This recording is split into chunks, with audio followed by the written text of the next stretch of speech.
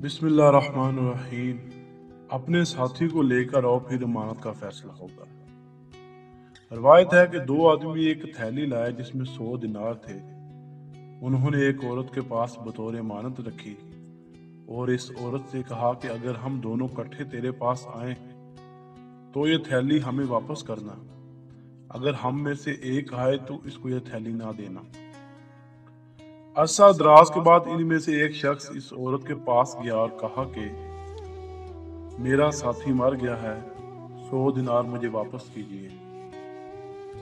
इस औरत ने दिनार देने से इनकार कर दिया तो इस शख्स ने औरत के खानदान के पास जाकर शिकायत की।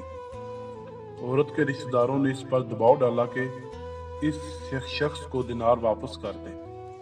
चनाचा उसने दे दिए, लेकिन एक साल के बाद इसका दूसरा साथी आया।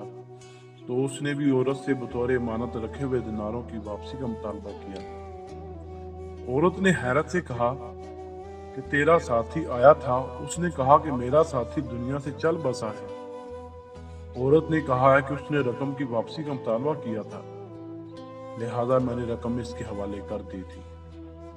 वो शख्स अपने मुतालबे पर डटा रहा, आखिरकार मामला दूल पकड़ गया और दोनों हज़रत उमर के पास आए। और अपना एक किस्सा बयान किया। हज़रत उमर ने औरत से कहा कि तू हर हाल में इस शख्स को रकम वापस करने की पाबंद है। इस औरत ने कहा, मैं आपको खुदा का वास्ता देती हूँ।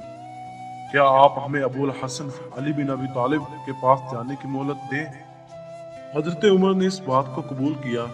जब वो दोनों हज़रत अली के पास आए तो आपने इस शख्स से फरमाया जब तुमने अमानत रखी थी तो इस वक्त तुमने ये कहा था कि जब हम दोनों आए तो हमें अमानत वापस करना। अब तुम अपने साथी को लेकर आओ तो बाद में तुम्हारी अमानत का फैसला किया जाएगा। तेरी रकम तेरे साथी के पास है, इससे जाकर तो खुद वसूल कर ले। इसमें औरत का कोई कसूर नहीं है, बल्कि तुम्हारे साथी ने फरेब किया है। जब हज़रत उमर ने यह फैसला सुना तो बेसख्ता कहा अल्लाह मुझे अली के बाद ज़िंदा ना रखना।